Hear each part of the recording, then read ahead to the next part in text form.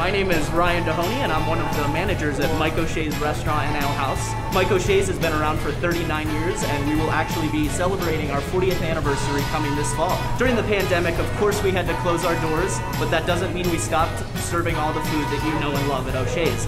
And we all know nothing chases away the COVID blues, quite like sitting down at Mike O'Shay's for a wonderful meal, a cold Guinness, and great company.